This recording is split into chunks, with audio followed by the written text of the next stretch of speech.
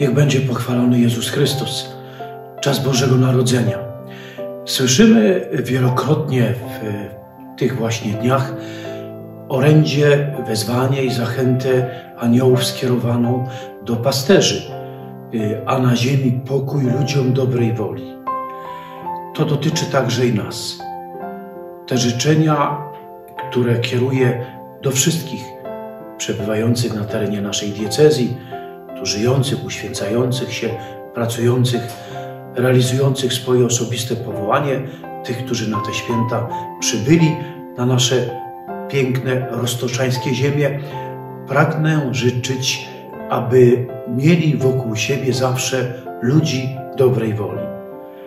Człowiek dobrej woli to ten, który wszystko ma ustawione według Bożego porządku, który pełni wolę Bożą i pragnie szczęścia, zbawienia, świętości najpierw drugiego człowieka, a potem także i samego siebie.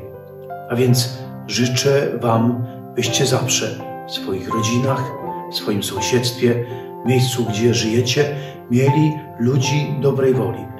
Ale by mieć ludzi dobrej woli, to najpierw trzeba być samemu człowiekiem dobrej woli. I dlatego też o tę dobrą wolę, zgodną z Bożym pragnieniem, sami się starajcie i życzę Wam, by towarzyszyły Wam wszelkie Boże łaski właśnie w tym odkrywaniu, realizacji Bożej woli. Niech to będzie także Waszym szczęściem i Waszą radością.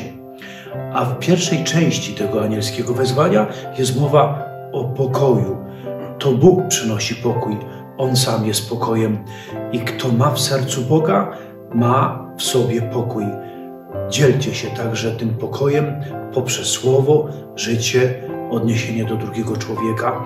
Niech źródłem waszego pokoju będzie nowo narodzone Boże Dziecię, które przychodzi do człowieka, by go zbawić, uszczęśliwić i dać mu prawo do wiecznej szczęśliwości.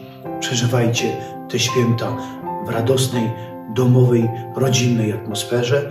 Pamiętajcie o drugim człowieku.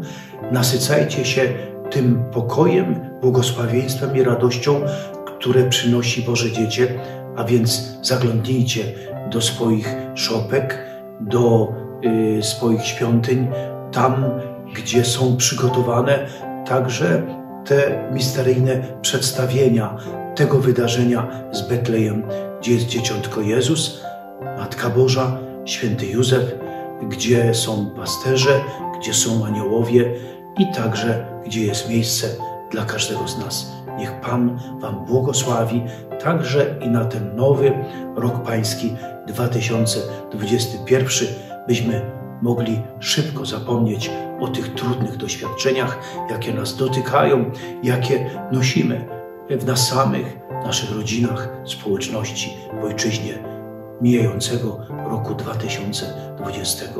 Niech Bóg będzie Waszym pokojem, Waszą radością i bądźcie ludźmi dobrej woli.